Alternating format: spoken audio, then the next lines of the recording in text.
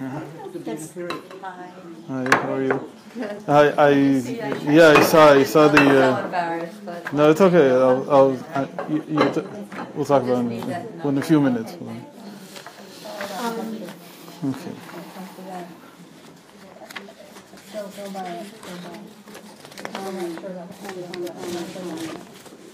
Okay. Oh. It says that you are now live, if Yes, everybody is I here. hope. I hope we are. Well, we're not dead. Okay. So we've been talking about communication. Really, we've been talking about how to fix our speech when it comes to a relationship with our spouse. And we said that the origin of the thinking about this whole topic is the idea that uh, speech requires what we call the five aspects of loving kindness that come out of knowledge. So that's a big mouthful.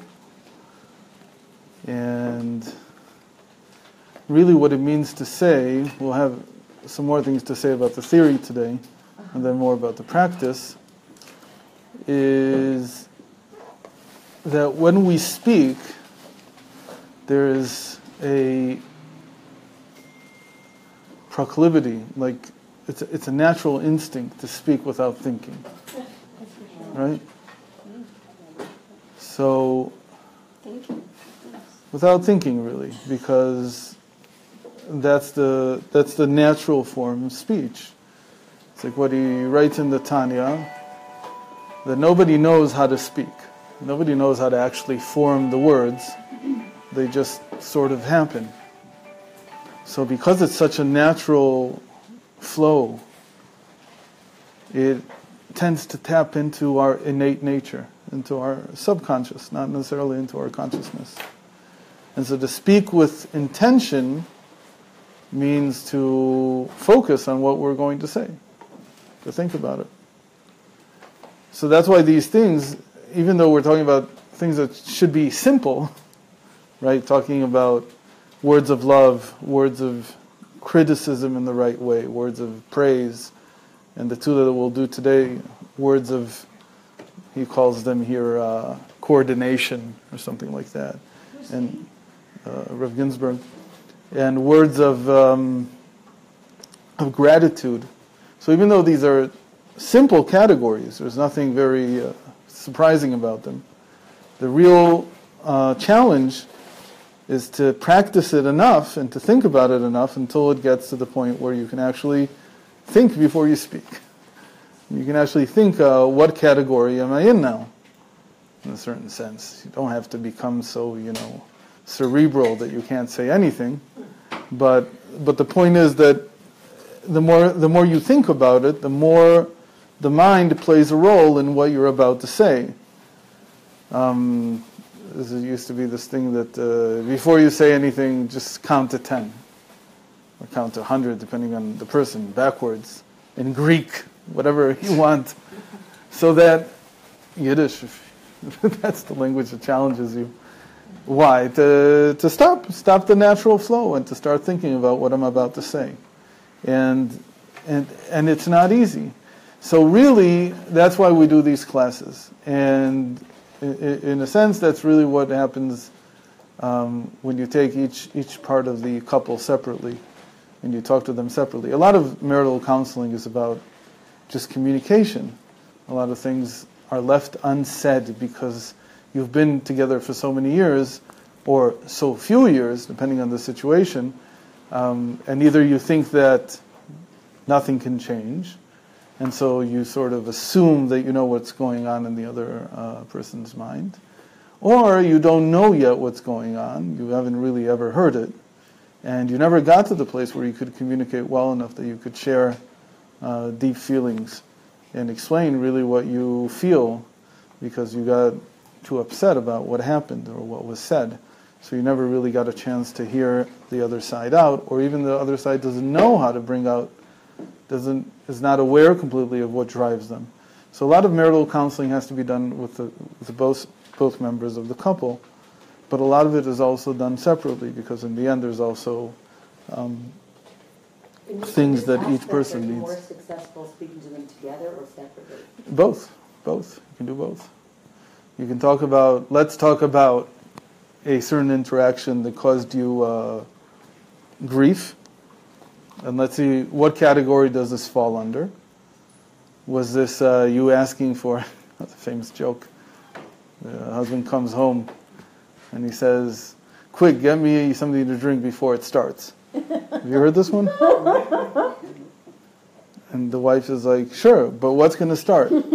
says, no, no, quick, go get me something to drink before it starts. She says, oh, sure, just tell me what, what's going to start.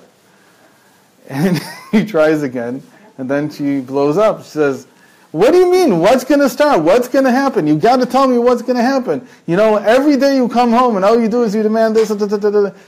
Too late, it started. so that's like, okay, those are words of what we're going to call coordination. And, um, and you have to know um, what, uh, what to do with these things. Right? That's, that's the classic example of, of, of not being able to communicate properly when it comes to asking somebody for something. How to ask? How do you ask? And the, the worst part of being married is that you assume that you're close. That's the worst part of being married. Because there's some uh, ring on somebody's finger and there's something in the, in, the, in the closet or on the wall. That in theory makes you close. but uh, to become close, like everybody knows, that, that requires a lot of, a lot of uh, time and effort. And sometimes you never get to that closeness that really allows each side to understand the other side. And you don't, and, and, and like I said, sometimes the person himself doesn't know how to fully uh, express and get in touch with what they're feeling. So then it just becomes, uh, you know, uh, uh, two two deaf people talking to each other. And then the facilitator is somebody who's supposed to try to, you know, sort of calm things down and try to get each side to ex- express what is going on during these interactions. Why do you feel that way? Why do you feel that the way that you did? Why did you respond the way that you did, and so on? Okay, but apart from that, there's the learning side that we always stress, which just needs time. You need to learn these things. So when we talk about all this theory, um, really what, what we expect to do is to try and, and develop it. So today I'm going to try to develop something a little bit, you know, might get people angry a little.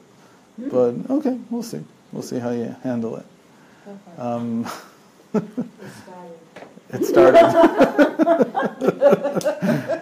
yeah. Brace yourselves. When did he start using this term, words of coordination? I don't think I don't. I'm not sure if he even calls it coordination. I think No. I just made that up. You Let's made see. that up. He he he he, he um he. I I imagine this is uh, whoever translated this from the Hebrew, but you'll see that in, in Hebrew the word is coordination. Here they used control and direction, which is more. It's a Uh, combination of control and right. direction. I, I like to think of it more as coordination than control and direction. Yeah. Um, and the, the word in Hebrew is category. nitzuach, nitzuach ala melacha. Which you could understand as control. It's like conducting, like a conductor conducts the orchestra.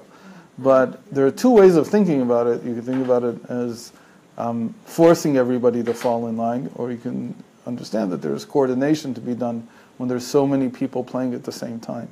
But So, here you only have two. Well, Coordination. yeah, more than two. We'll see. But it's kind of beautiful, isn't it? Because it creates music. For sure. Right. Well, Of course, of course, harmony of course, yeah, of course. That's the whole. That's the whole point. But you said there were five categories. Right, so we you said, only uh, mentioned four. Lo- We said words of loving kindness, words of criticism, That's what. And we said loving kindness is the main thing. And really, today we'll see something about praise that we talked about last week and the week before. We'll see something important about praise. Even though we're moving on to coordination, really, we're just going to spend a, a few a few more minutes or a few more tens of minutes. What Coordination's a Is category? it category? or- is the fourth, right? What's the Th- fifth? They correspond to the sfirot from from Chesed to Hod. Right? They're called the five aspects of loving kindness that come out of consciousness. So each one goes into one of these sfirot. Each one goes into one of the emotions of the heart to add thought to it or consciousness. Okay? So that it's not something that's just habitual. Even love, which is a very powerful force, if you don't add um, some consciousness to it, so it, it deteriorates very quickly. We'll talk about that in a few minutes. Okay? You just, um, um, love, criticism, praise is a separate one? Praise is a third. And coordination and what else? Coordination. And the last one is, is, is gratitude. Okay.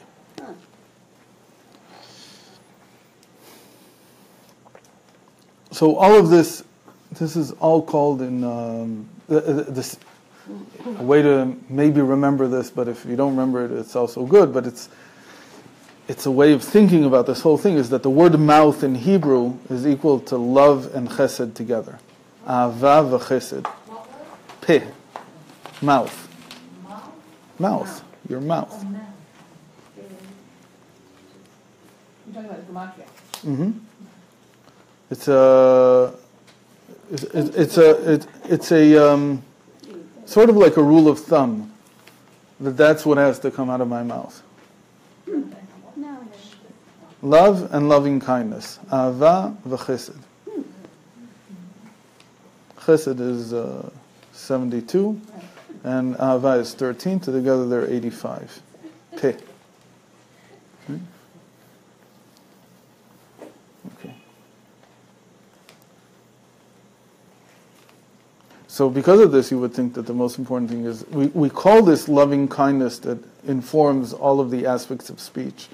That's the idea here. But um, it's not that loving, the words of love are the most important. It's dafka the words of praise. And what's the idea here? There's a concept called the Yaakov Shel Padat Avram, the Jacob who redeemed Abraham. What does that mean? So the sages say that when Abraham was in the in the furnace in Ur Kasdim, when Nimrod threw him in, so why did Hashem save him? So one of the explanations given by the sages is based on this verse in Yechezkel, that it was the foreshadowing of, of Jacob's birth. That since Yaakov would be coming out of Abraham, so that was the reason that he was saved.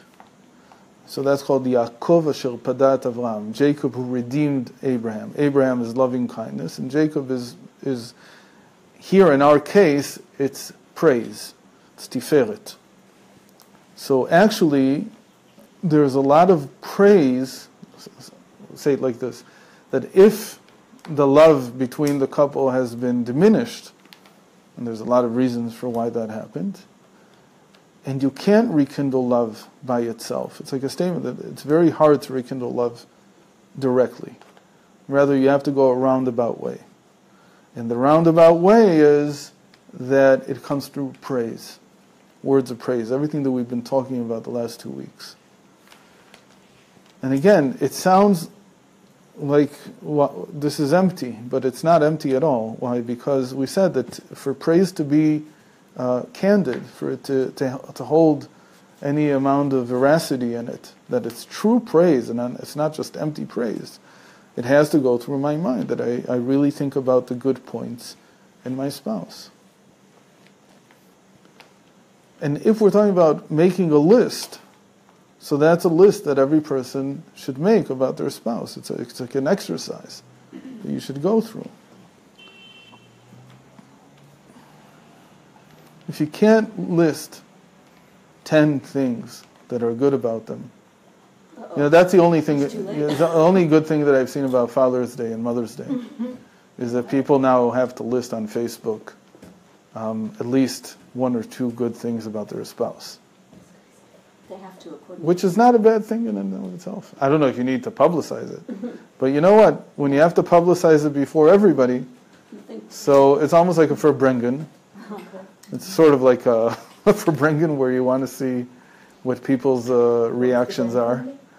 And the benefit is that you have to think about something that, first of all, your friends, No, I wa- mean in the public, public thing. like every farbrengen, the fact that when things are done publicly, you have to stand behind them.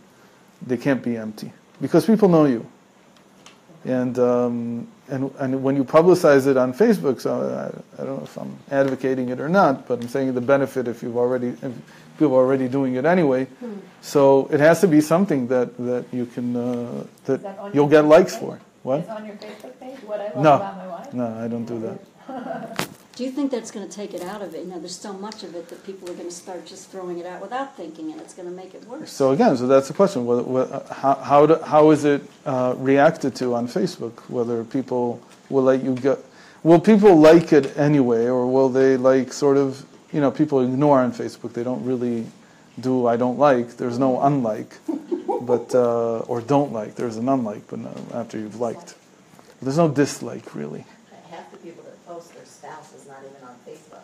I don't think I don't think you, Posting to the world. Right, that's what I'm about their saying. spouse. Right. So he's saying there has to be validity for you, speak so publicly about. people know you like they, they know whether this is something that um, so it's not such a, it's not such a bad idea but certainly the best idea is that you can do it for yourself then whether you can make that list and make that list every time that you feel maybe that the love is gone or the love isn't there as much as it was Self-love. why self-love your love for your Oh, do spouse it for yourself, you said. Not for yourself you're writing your spouse's uh, praises It sounds like marriage. What's good about them? you don't have to. You don't have to go to uh, to a marriage counselor. You can do it yourself. And it's amazing that this thing works. The more you think about the good qualities in somebody, the more you have affection for them. It's a natural tendency in, in the heart that compassion.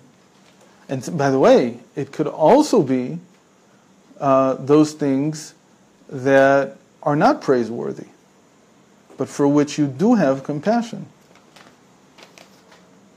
There is, um, uh, just before, I don't know why I've been doing this, but I've been watching Oprah's series on faith, different types of faith. It's a, I, she's an interesting character. I think she uh, she developed, she matured well. as opposed to- what? Like Deepak Chopra? No, she's she's more into the people side of things. She's not into the philosophical side. So there was a couple that she was following. Um, the terrible story that just before they they were supposed to get married or they were engaged again already, I don't know. Um, he had a, a, a terrible car accident and he he, he lost a lot of his uh, of his uh, brain function. So he's like. Uh, I don't know if to say that he's a child. It's not clear. But no, no, he's not a vegetable. He, he communicates, and but he's like, like he, he finds it difficult to communicate. But he's in. So anyway, why are they together? So to tell me that she continues to love his qualities, maybe some of them are still there, but I think it's clear she's there because of compassion. They got married, and she's still with him for the last uh, seven or eight years already. So it's not something that's like passing and fleeting, but it's a tremendous decision. Why did she take it? I think she took it because in the end, uh, we talked about this. What would have been what the whole difference is is two weeks, let's say, just before you got married and after you got married. If a person is is is clear about their commitment, um, so do it. And it could have happened two weeks after, and then what would you have done? Would you have left then?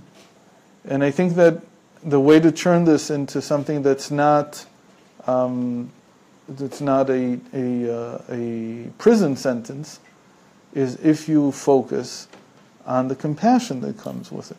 So there's also compassion. Uh, I'll give you a, another example where the, where this compassion comes about. Um,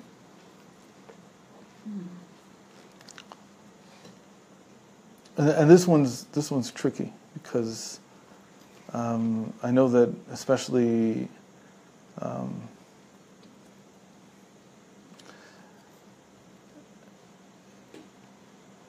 well, I'll